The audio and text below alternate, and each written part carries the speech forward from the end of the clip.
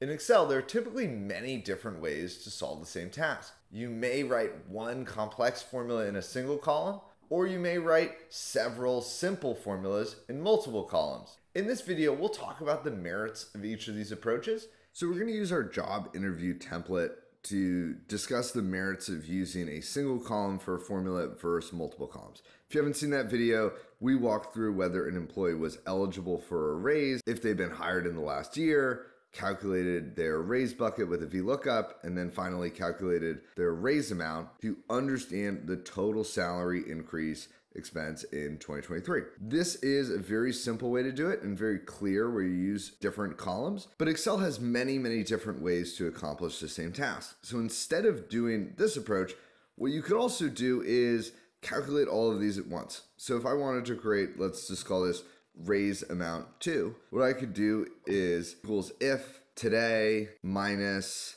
their hire date is greater than 365, then a VLOOKUP on their rating. The table array will be my lookup table. My column index number will be two, which I want a exact match. Close that and then multiply that raise by the salary and if not, I want it to return to zero.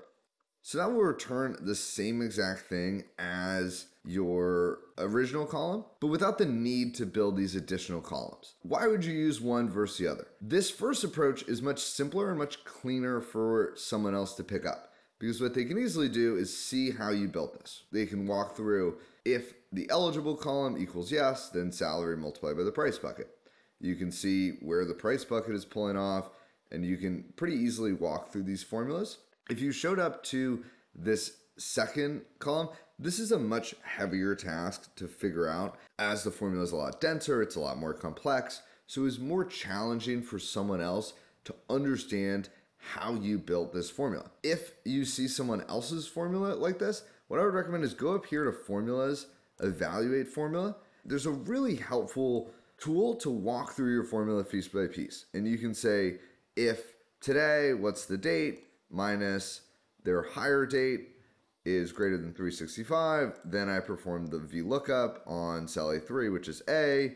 That gives me the raise multiplied by their salary, gives me the answer of the raise amount I want. One final way you can do this, just to show an intermediate approach, is you could calculate a raise bucket that includes your eligibility. So I could say equals if today minus my hire date is greater than 365. I wanted to return a VLOOKUP of my rating on my table, locked in place two, false for an exact match, else I want zero. So now what I have is more or less the same raise buckets, but now I just have a zero for the raise bucket if they are ineligible. And so I could create another column or if I just want to calculate the total salary expense, I could use a sum product. Sum product will give you the sum of the product of two different arrays. So if I use a sum product of the salary and a sum product of my raise bucket, I will get the same answer as doing it separately.